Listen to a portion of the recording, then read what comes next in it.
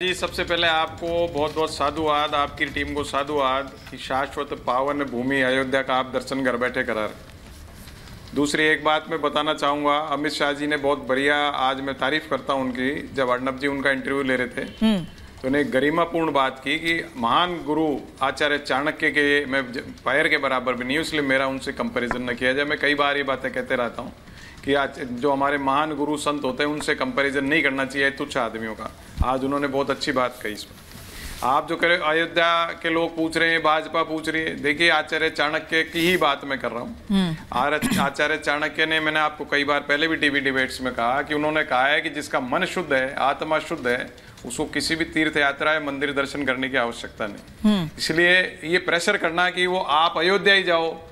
तो आप जिसका जहाँ मन करेगा काशी जाएगा किसी का मन करेगा महाकाल के दर्शन करेगा किसी का मन करेगा हनुमान जी के दर्शन करने जाएगा किसी का मन करेगा केदारनाथ जी जाएगा ये ये ये जो नरेटिव क्रिएट करने का दस साल से कोशिश की जा रही है भाजपा द्वारा हम्म। अभी की भाजपा द्वारा पहले की बात नहीं कर रहा अटल जी अडवाणी जी के ऊपर। हम्म।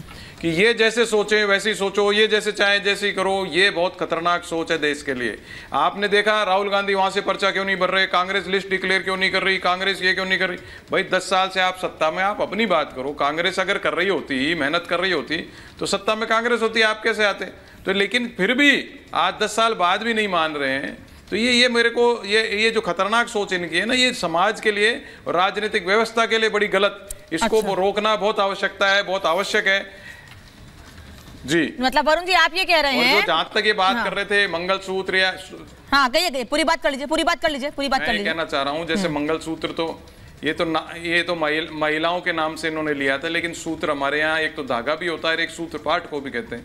तो मंगल ग्रह का पाठ करें बुद्ध का करें शनि ग्रह का करें शुक्र का करें कितने ही सूत्र पाठ करें जनता सूत्र का पाठ भी करेगी और इनके सूत्र भी बांधेगी क्योंकि इन्होंने जनता को जिस प्रकार से मानसिक आर्थिक रूप से प्रताड़ित किया है वो मर्यादा पुरुषोत्तम श्री राम की आरपी सिंह जी वरुण जी ये कह रहे हैं आप अपनी चिंता कीजिए। आप ये डिसाइड नहीं करेंगे कि कौन कहाँ और कब दर्शन करने के लिए जाएगा। चुनाव है आपके नेता और आप लोग सिर्फ़ चुनाव की वजह से राम मंदिर जा रहे हैं इसीलिए इस साल आधा अधूरा इस साल उसका उद्घाटन कर दिया। मंदिर तो पूरा भी नहीं हुआ अभी।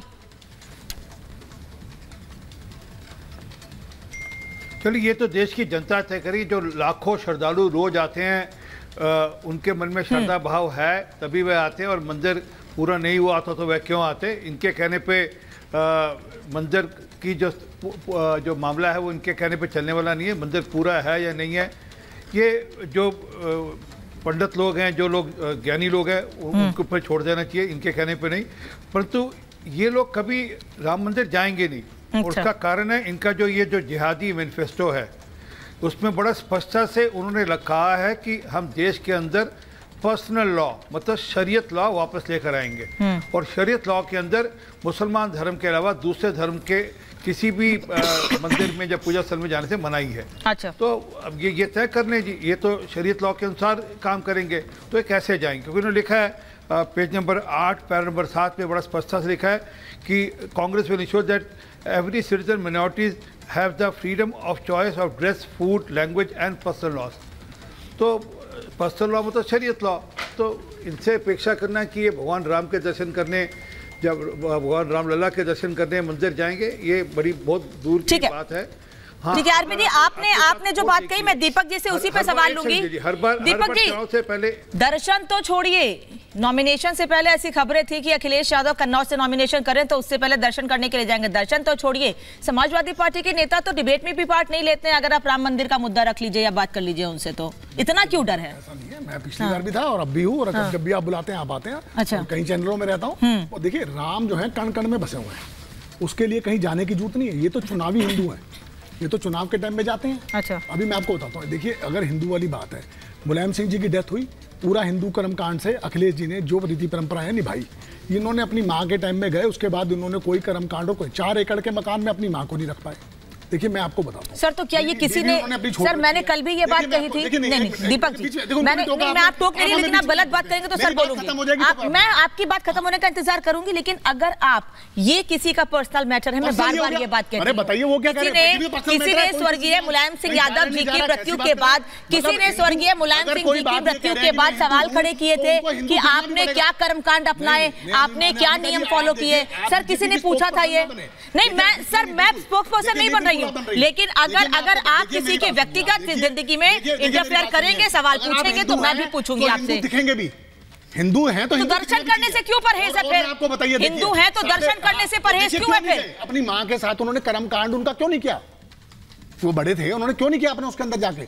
लेकिन क्यों नहीं किया? क्योंकि वो अपने आप को चुनावी हिंदू है और साढ़े अड़तीस परसेंट मैं इस पे जवाब लेती आप लोगों से लेकिन आरपी सिंह रिएक्शन नहीं गलत बात ठीक देखिए साढ़े नहीं नहीं। साढ़े अड़तीस परसेंट के अंदर उनकी बातें वो वो क्या नहीं वो क्या कह रहे हैं मैं ये समझ रही हूँ। ये क्या कह रहे हैं मैं उसको समझ रही हूँ। साढ़े अड़तीस परसेंट में भी पैंतीस छत्तीस परसेंट आपको हिंदू दे रहे हैं। पैंसठ परसेंट आदमी तो आपको देश का हिंदू आपको वोट ही नहीं कर रहा। आप ये बड़ी दिक्कत ये तो बहुत बड़ी दिक्कत है। ये बहुत बड़ी दिक्कत है। ये बहुत बड़ी प्रॉब्लम है। दीपक जी ये गलत बात है ये गलत बात है। 97% हिंदू थी, कल भी कल भी राहुल गांधी ने कल भी राहुल गांधी ने जैसे शब्दों का इस्तेमाल किया उस पर भी आपत्ति थी। 97% हिंदू थे। सर कल भी राहुल गांधी ने दर्शन के लिए आस्था के लिए या दर्शन का जो वीडियो चार महीने पहले सामने आया उस पर सवाल खड़ी किया सर उस पर भी आपत्ति थी। और आज आप जो कह रहे हैं उस पर भी आपत्ति है मुझे। देखिए देखिए अभी वरुण जी ने भी कहा जैसे आप कोई आदमी अपने घर के अंदर पूजा करता है और जब मौका आएगा सब जाएँगे चुनाव के समय में नहीं जा रहे। सौरभ जी मैं आपसे रिएक्शन लूँगी रुकिए मैं आरपी बीस सेकंड बीस सेकंड अच्छा, आप आपने आपने बीजेपी में पे सवाल खड़े किए ना? मैं जल्दी से जल्दी से सर जल्दी से जल्दी से। मुझे पास देखिए एक बात बताओ। मंदिर में लोग जाते हैं तो पुजारी और लोग उनके इंतज़ार नहीं करते हैं। लोग राम के दर्शन करने के लिए जाते हैं भगवान के दर्शन। यहाँ पे सारे पुजारी वो ऐसे कि जैसे राम हो गए नरेंद्र मोदी। नहीं आपने जो सवाल पूछा ना उनकी माँ पर मैं उस पर आरपी सिंह से रिएक्शन लूँगी फिर सौरभ दुबे। आरपी सिंह रुकिए रुकिए सौरभ जी रुकिए। आरपी सिंह सर बीस सेकंड जवाब दीजिए फिर सौरभ दुबे। हाँ। देखिए, कितनी घटिया और कितनी नलायक सोच है कांग्रेस पार्टी और सपा पार्टी के प्रवक्ताओं की। और विपक्ष के पार्टी के प्रवक्ताओं की ये किस प्रकार से निजी जो क- कर्मकांड है उस पर भी ये आक्षेप लगाते हो? हमला करते क्या बोल रहे हो आप? मैंने क्या बोला? देख रहे हैं आपके हैं हो? ठीक जवाब क्या बोला मैंने? नहीं नहीं दीपक जी ने बोला वरुण जी ने नहीं बोला है सही बात बोली है। दीपक नहीं तो जो भी बोला है वो आपने बोला है मैं ये कह रही हूँ जो भी बोला है वो आपने बोला है वरुण जी ने कुछ नहीं बोला है अच्छा रुकिए पूरा कर दीजिए पूरा करने दीजिए पूरा करने आपकी दीजिए सोच को नालायक नहीं बताया अरे सर ये जो बोल रहा है आप उसको जवाब दीजिएगा ना। जो बोल रहा है उसको जवाब दीजिए। आरपी सिंह जी दस सेकंड जल्दी से फिर सौरभ दुबे जल्दी से। नहीं नहीं मुझे नहीं पता था कि वरुण जी कांग्रेस में है। मुझे तो पिछले दिनों पता लगा वरुण जी कांग्रेस छोड़ चुके हैं। मैं तो कहा जो कांग्रेस के और सपा के मैं तो कहा और विपक्षी दलों के प्रवक्ताओं की जो सोच है वो परिलक्षित करती है कि किस घटिया पन तक जा सकते हैं वो। वो निजी कर्म कांडों पर किस प्रकार से प्रश्न उठाते हैं देखता तो है जाना भी मंदिर में जाना भी तो निजी है। किस हद तक आप भी तो उठा रहे हो ये मुसलमान ऐसी बात कर वोटों रहे पे आप। चलते हुए किस हद तक जा सकते हैं? नहीं ठीक बात दीपक जी ठीक बात कर रहे हैं सौरभ जी। मंदिर जाना भी सबकी अपनी आस्था का लिए विषय है? ये उनका निजी विषय है। ये आप सवाल नहीं पूछेंगे कि आप राम मंदिर कब जाएँगे? काशी कॉरिडोर देखने के लिए कब जाएँगे? या जो स्टैचू बनाया गया गुजरात में उसे देखने कब जाएँगे? ये अपना मतलब है अपनी आस्था है। आप क्यों सवाल पूछ रहे हैं उस पर? नहीं ठीक है। देखिए हनुमान चालीसा में एक लाइन लिखी है ना कि हो तो ना आज्ञा बिनु पैसारे।